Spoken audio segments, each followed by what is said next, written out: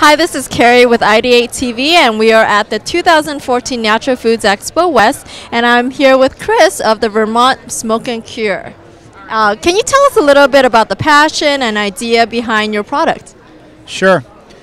Well, I'm, you know, very active. Friends are very active. Actually, I'm a um, former professional bicycle racer, and um, there really was not a meat snack that I wanted to eat. They were too salty, too fatty lots of preservatives, and so we came up with Real Sticks, and they're you know all naturally raised meats, half the fat and sugar of leading brand, um, and they're delicious. They're just real spices in them, and so you throw them in your backpack in your lunchbox, kids' lunch, whatever.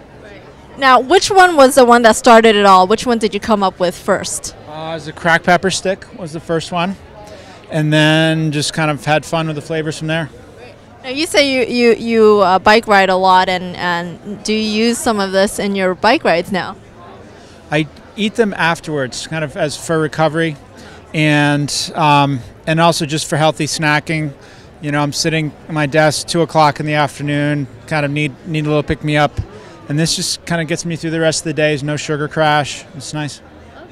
Now, if we were to find this product in the stores, where will we find it? Or if we want to buy this online, where do we find it? Sure, you come to our website, uh, vtsmokeandcure.com, or um, all but two of the regions of Whole Foods around the country have them, or we'll have them momentarily. And then, depending on where you are, uh, co ops and different stores have them as well. Great. Well, thank you so much for your time, and, and we'll be sure to check out Vermont Smoke and Cure. Again, this is Carrie with Ideate TV, and tune in next time.